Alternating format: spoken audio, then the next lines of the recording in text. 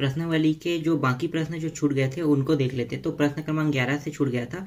तो प्रश्न क्रमांक प्रश्न क्रमांक ग्यारह से शुरू करते हैं। सुरजीत, पंजाब नेशनल बैंक में कितना धन जमा करे कि पाँच प्रतिशत वार्षिक ब्याज की दर से उसे दो वर्ष में छः हज़ार छः सौ पंद्रह रुपया प्राप्त हो? मतलब क्या है? दो वर्ष में इसको प्राप्त होना है। तो मतलब ये ब्याज की राशि है। तो मतलब आपको समझ में आ रहा है कि ये क्या है? ये एक मिश्र धन है। पर यहाँ पे देखो, कहीं पे भी मूलधन नहीं दिया है। तो हमें क्या ज्ञात करना है? इस बार मूलधन ज्ञात करना है। अभी तक हमने ऐसे ऐसे एक भी प्रश्न नहीं बनाया है जिसमें हमें मूलधन ज्ञात करना हो जिसमें हमें दर ज्ञात करना हो जिसमें हमें समय ज्ञात करना है। अब जो प्रश्न बनाएँगे उसमें मूलधन दर और समय ही ज्ञात करेंगे क्योंकि बाकी चीज़ तो हमने ज्ञात कर लिया है। बस इनको कैसे निकालना है ये हमें सीखना है। तो इसको सीखते हैं कैसे आ, कैसे बनाते हैं? तो यहाँ पे क्या क्या दिया है? मिश्र धन दिया है। लिख लो आप। मिश्र धन मिश्र धन को किससे दर्शाते हैं? ए से। तो मिश्र धन मिश्र धन को ए से दर्शा रहे हैं। और मिश्र धन कितना है? छह हज़ार छह सौ पंद्रह रुपये। तो ये मिश्र धन है। और क्या दिया हुआ है? दर दिया हुआ है। दर को आर से दर्शाते हैं। और ये है पाँच प्रतिशत। समय दिया है? हाँ समय दिया हुआ है।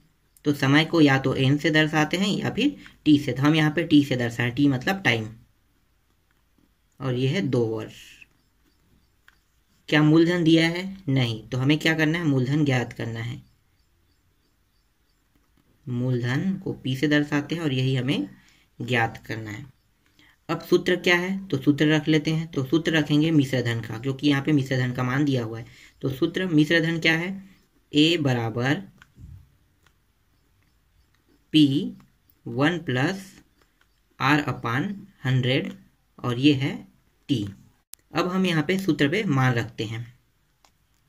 तो ए का मान कितना है? देखो ए का मान छः हज़ार छः सौ पंद्रह। तो यहाँ पे है इसके बाद बराबर लगा हुआ है। बराबर के बाद क्या है? पी है। पी का मान दिया है क्या? नहीं। तो पी को जो का दो लिख लेते हैं। फिर आर का आ, अंदर देखो वन प्लस फिर आर का मान कितना है? पाँच। तो ये हो गया पाँच। और ये हो गया हंड्रेड और टी का मान कितना है? दो। तो ये हो गया, यहाँ पे हमने पूरे मानों को पुटअप कर लिया। अब आगे देखते हैं। तो ये है छः हज़ार छः सौ पंद्रह और यहाँ पे पी है। तो पी को, चलो पहले इसको हल कर लेते हैं। तो ये वन, ये हो जाएगा पाँच एकम और ये पाँच बीसम। बीस एक इक्कीस सॉरी बीस से बीस बीस और एक इक्कीस। यहाँ पे एक बार में कटाइए तो बीस कम बीस बीस से इक्कीस। आपको लघुत्तम निकालना तो आता ही होगा तो आप लघुत्तम निकाल के देख लेना इससे पहले वाले पार्ट में मैं लघुत्तम को निकाल के भी बताया हूँ कैसे ये निकाला जाता है। ठीक है? आगे बढ़ते हैं। छः हज़ार छः सौ पंद्रह। अब ये जो है, देखो पी है। पी का मान हमें ज्ञात करना है मतलब मूलधन हमें ज्ञात करना है। तो ये वाले मान को क्या करेंगे? इस पार लाएँगे। तो ये हो जाएगा पहले, इसको पहले और थोड़ा अलग कर लेते हैं, ठीक है? तो ये इक्कीस बटे बीस और ये इक्कीस बटे बीस, ऐसा हो जाएगा। अब हम छः सौ पंद्रह बराबर इन दोनों का गुड़ा कर देते हैं। तो ये हो गया इक्कीस गुड़ित इक्कीस, चार सौ इकचालीस। और बीस और बीस कितना हो गया? चार सौ। गुड़ित ये पी है पी को यहाँ पे रखो। अब यहाँ पे देखो ये वाला मान यहाँ पे चला जाएगा नीचे से तो तीरिया गुड़ा होकर ऊपर चला गया, और ये मान, ये वाला मान तीरिया गुड़ा होकर नीचे आ गया। तो यहाँ पे लिखो छः हज़ार छः सौ पंद्रह गुड़ित ये ऊपर चला गया तो ये हो गया चार सौ ऊपर में गया, और ये ऊपर वाला मान नीचे आ गया तो क्या हो गया, ये चार चार एक, और यहाँ पे क्या बचा पी ये एकम और ये पंद्रह, बाद में कट जाता है। तो पंद्रह चौक साठ तो बचा क्या हमारे पास? चलो पहले लिख लेते हैं। पंद्रह गुड़ी चार सौ बराबर पी। तो ये हो गया पंद्रह चौक साठ और ये हो गया दो ज़ीरो। तो पी बराबर कितना निकला? छः हज़ार रुपये। मतलब मूलधन कितना आया? छः हज़ार। तो यहाँ पे लिखो अतः अतः पंजाब नेशनल बैंक में, या फिर लिखो अतः सुरजीत अतः सुरजीत द्वारा छः हज़ार रुपये जमा किए। ठीक है? तो छः हज़ार आपका क्या निकल गया? मूलधन। ये आपका आंसर है। तो ये आपको समझ में आया? इस तरह से ये बनता है। मूलधन इस तरह से निकाला जाता है। इसी तरह से सेम प्रश्न क्रमांक बारह बनेगा। प्रश्न क्रमांक बारह जो है, उसमें आपको क्या कहा गया है कि अधवार्षिक गणना। तो अधवार्षिक गणना मैं प्रश्न क्रमांक छः में बता दिया हूँ कि अधवार्षिक गणना कैसे करते हैं। तो आप सेम प्रश्न क्रमांक छः की तरह अधवार्षिक गणना करना, उसके बाद जो सूत्र लगाओगे, वो सूत्र लगाने के बाद सेम, जैसे ये वाला सूत्र लगा है, इसी तरह से सूत्र लगाने के बाद पूरा मान इसी तरह से हल करके निकालना है। ठीक है तो प्रश्न प्रश्न क्रमांक बारह भी आप लोगों से बन जाएगा। अब प्रश्न क्रमांक तेरह आते हैं। तो प्रश्न क्रमांक तेरह में है, कबीर ने मोटरसाइकिल खरीदने हेतु इंडियन बैंक से पंद्रह हज़ार छः सौ रुपये उधार लिए।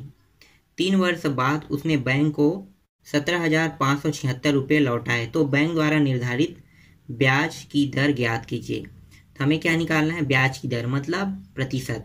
तो यहाँ पे देखो, उधार लिए। मतलब उधार लेने वाली राशि कितने पंद्रह हज़ार छः सौ। मतलब ये मूलधन है। और उस पर ब्याज मिलने के बाद मतलब तीन वर्ष बाद। तीन वर्ष बाद मतलब क्या हो गया? मतलब ब्याज ही लगा होगा। तभी तो तीन वर्ष बाद वो सत्रह हज़ार पाँच सौ छिहत्तर हुआ होगा। तो लौटाए। तो ये मिश्र धन हो गया। और हमें निकालना क्या है? ब्याज की दर। तो ब्याज की दर हमें निकालना है। तो इसको कैसे निकालेंगे? तो इसको भी वैसे ही, जैसे हमने पहले हल किया तो वैसे ही। तो आपका मिश्र धन, मैं डायरेक्ट लिख रहा हूँ, मिश्र धन को ऐसे दर्शा ए मतलब अमाउंट तो मिश्र धन है सत्रह हज़ार पाँच सौ छिहत्तर रुपये। मूलधन है। मूलधन को प्रिंसिपल से प्रिंसिपल कहा जाता है इंग्लिश में। तो पंद्रह हज़ार छः सौ पच्चीस रुपये। और दर तो दिया नहीं है तो पहले समय लिख हैं समय को टी से दर्शाते हैं। तो टी है तीन वर्ष और दर हमें ज्ञात करना है। सूत्र लगा दो। सूत्र क्या है आपका? ए बराबर one sorry P one plus R upon hundred और ये टी अब यहाँ पे मान रखते जाओ ए का मान क्या है? तो सत्रह हज़ार पाँच सौ छिहत्तर। पी का मान कितना है? पंद्रह हज़ार छः सौ पच्चीस। वन प्लस आर का मान तो दिया नहीं है तो जो का तो लिखो और टी का मान कितना है? तीन वर्ष। तो ये हो गया तीन वर्ष।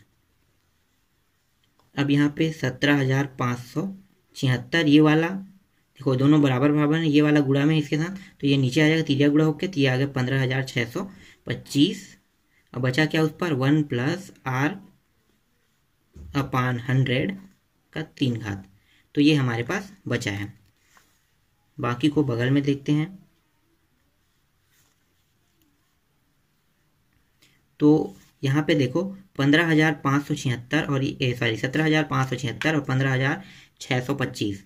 तो ये पच्चीस गुड़ित पच्चीस गुड़ित पच्चीस मतलब तीन बार पच्चीस पच्चीस पच्चीस का गुड़ा करने पर पंद्रह हज़ार छः सौ पच्चीस आता है। और ये जो है, ये इससे एक बढ़ जाएगा, ठीक है? ये ये पच्चीस है इससे एक बढ़ेगा तो ये कितना हो जाएगा? छब्बीस छब्बीस छब्बीस। तो छब्बीस गुड़ी छब्बीस गुड़ी, छब्बीस करने पे ये सत्रह हज़ार पाँच सौ छिहत्तर आएगा। तो यहाँ पे लिखो तो ये हो गया छब्बीस। का तीन घात हो जाएगा और ये पच्चीस का तीन घात हो जाएगा। तो छब्बीस का तीन घात और ये पच्चीस का तीन घात बन गया। और ये हो गया वन प्लस आर, ये हंड्रेड और तीन।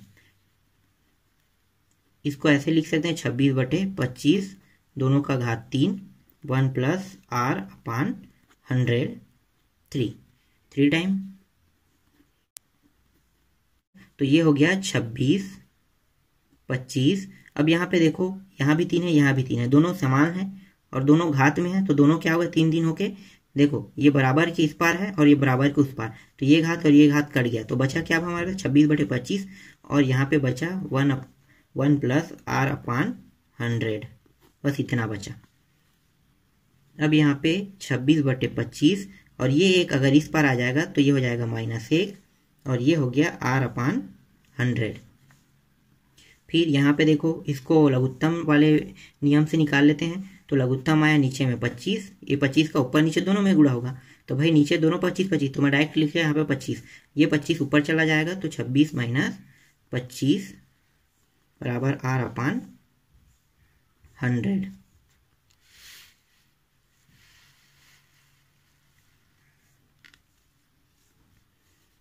उसके बाद आगे हल करते हैं। तो ये हो जाए ये हो गया ऊपर में एक बचा, एक बटे पच्चीस, और यहाँ पे बचा आर बट्टे हंड्रेड। फिर ये जो है, ये ऊपर चला जाएगा तिरिया गुड़ा के रूप में तो एक गुड़ित सौ बटे पच्चीस, और ये आर तो पच्चीस से कम, पच्चीस चौक तो आर बराबर चार प्रतिशत। ये क्या है? आपका आंसर है। तो आर का मान आ गया चार प्रतिशत। ठीक, इस तरह से ये बनेगा। इसी तरह से प्रश्न क्रमांक चौदह भी बनेगा। तो आप लोग प्रश्न क्रमांक चौदह को बना के देख लेना। ठीक है, आगे बढ़ते हैं। प्रश्न क्रमांक पंद्रह जो है वो प्रश्न क्रमांक सोलह की तरह बनेगा, लेकिन मैं प्रश्न क्रमांक जो पंद्रह है वो सरल है तो सोलह को देखते हैं, क्योंकि कुछ लोगों का कहना है कि सोलह थोड़ा टफ है तो उसी को बताते। तो मैं इसलिए आप लोगों को थोड़ा टफ वाला प्रश्न बता रहा हूँ। क्रमांक सोलह, भारतीय स्टेट बैंक में अहमद को उसके जमा धन छियालीस हज़ार आठ सौ पचहत्तर पर आठ प्रतिशत वार्षिक ब्याज की दर से पाँच हज़ार आठ सौ तिरपन ब्याज प्राप्त हुआ। यदि बैंक द्वारा ब्याज की गणना अधवार्षिक की गई हो तो समय बताइए। तो जो जो दिया है उसको पहले लिख लेते हैं। तो सबसे पहले देखो छियालीस हज़ार क्या है? वो ब्याज में लिया। तो मतलब ये मूलधन है। तो पी बराबर कितना है? छियालीस हज़ार आठ सौ पचहत्तर रुपया। पी हो गया। और दर कितना है? आठ प्रतिशत। समय दिया है क्या? नहीं। तो हमें क्या निकालना है? समय को निकालना है। तो समय को बाद में लिखते हैं। तो ये दर हो गया। क्या हमारे पास मिश्र धन है? तो देख लेते हैं। हाँ मिश्र धन यहाँ पे ब्याज दिया हुआ है। तो ब्याज है, कितना दिया है ब्याज? पाँच हज़ार आठ सौ तिरपन रुपये। तो ये ब्याज है और ये मूलधन है। दोनों को अगर जोड़ दें तो मिश्र धन निकल जाएगा। तो मिश्र धन कितना है? छियालीस हज़ार आठ सौ पचहत्तर प्लस पाँच हज़ार आठ सौ तिरपन। तो दोनों को जोड़ते हैं। तो मान आ रहा है बावन हज़ार, एक सेकंड यहाँ पे लिखते हैं, बावन हज़ार सात सौ अट्ठाईस रुपया। तो मिश्र धन कितना निकल गया? इतने रुपये। ये मिश्र धन है। तो हमें निकालना क्या है? हमें निकालना है टाइम समय। तो समय कितना वर्ष ये निकालना है? तो सूत्र में मान रख देते हैं।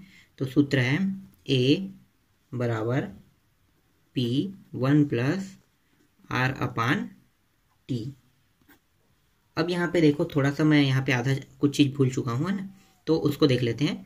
तो यहाँ पे कहा गया है कि अधवार्षिक गणना। अधवार्षिक गणना तो कैसे निकालते हैं? तो जो ये आठ प्रतिशत है, ठीक है? प्रतिशत और समय के साथ ही ये डिवाइड होता है। तो अधवार्षिक गणना करना है हमें तो मतलब क्या है? अधवार्षिक में हमें साल में दो बार पटाना है। तो साल में दो बार पटाएँगे तो भाई दो बार पटा रहे हैं तो ये भी क्या हो जाएगा? आधा हो जाएगा। तो आठ बटे दो दो बार जितने बार पटा रहे हैं, उतने बार को उसे डिवाइड करते हैं। तो ये कितना हो गया चार प्रतिशत। इसको और अच्छे से समझना है आपको, ये वाला, ये कैसे, दो आया और कहाँ से आया? तो इसके लिए आपको प्रश्न क्रमांक छः को देखना होगा, जो पहले पार्ट में है।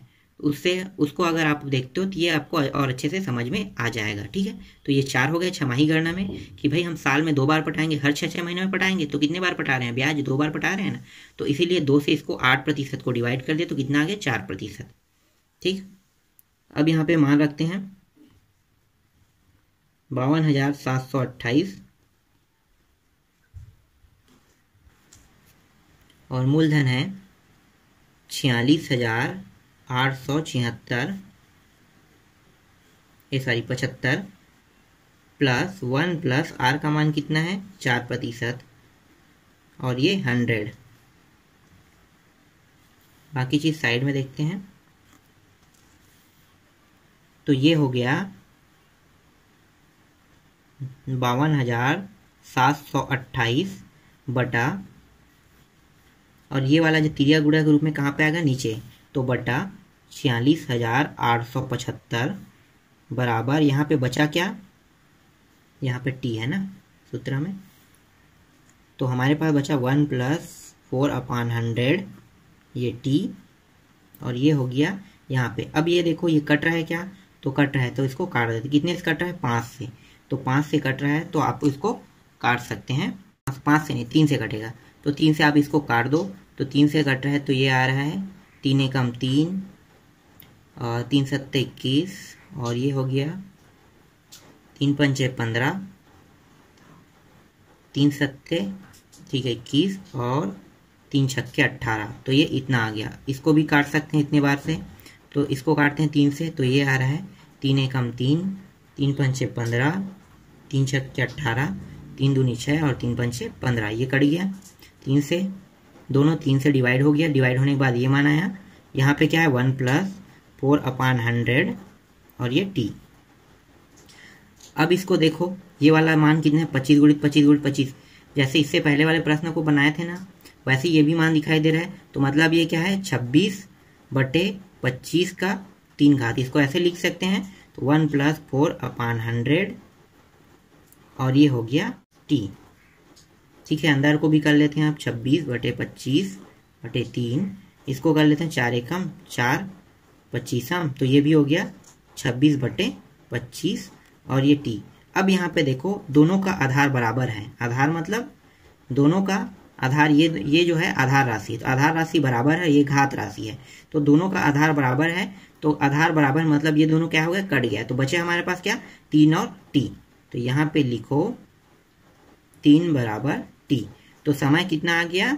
यहाँ पे लिखो, तीन वर्ष। टी बराबर मतलब समय जो है वह तीन वर्ष है। और ये क्या है आपको? यही निकालना था, ये आपका आंसर तीन वर्ष नहीं है, तीन छमाही पटा रहे हैं। तो ये तीन छमाही है छह माही ठीक है? तीन छमाही कह सकते हो। क्योंकि, क्यों ये तीन छह माही है? क्योंकि भाई, यहाँ पे देखो ना, हमने काट दिया है। काटने के बाद क्या है, ये हर माह में, एक साल में दो बार पटा रहे तो चार प्रतिशत के हिसाब से इसको हमने हल किया। तो ये तीन छह माही को कैसे लिख सकते हैं?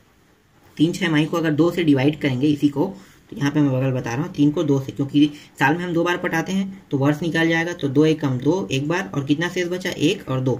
तो इसे इस तरह से लिखते हैं। तो एक सही, एक बटे मतलब ये डेढ़ वर्ष। डेढ़ वर्ष में, डेढ़ वर्ष में वो तीन छमाही पटाता है। डेढ़ वर्ष में तीन बार वो पटा रहा था। तो ठीक है, ये इस प्रकार से सोलह भी खत्म हो गया। अब प्रश्न क्रमांक सत्रह है। सत्रह जो है इसमें आपको साधारण ब्याज निकालना है और चक्रवृद्धि ब्याज निकालना है और दोनों का अंतर करना है। मतलब चक्रवृद्धि ब्याज के साथ माइनस करना है क्या आपको? साधारण ब्याज को, उसके बाद बराबर करके चालीस को लिख के आपको आंसर लाना है। तो इससे रिलेटेड हमने प्रश्न, जो प्रश्न क्रमांक चार थे, उसको हम लोग, हम लोगों ने बनाया था। तो वैसे ही बनेगा। बस लास्ट में आपको थोड़ा सा अंतर निकालना है, उसको आपको खुद थोड़ा सा बना के देख लेना है। ठीक है? तो ये भी प्रश्नावली पूरा खत्म।